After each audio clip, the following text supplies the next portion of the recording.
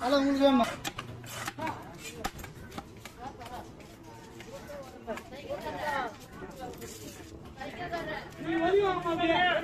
கொண்டு மட்டும் ஐசா பண்ணலாம்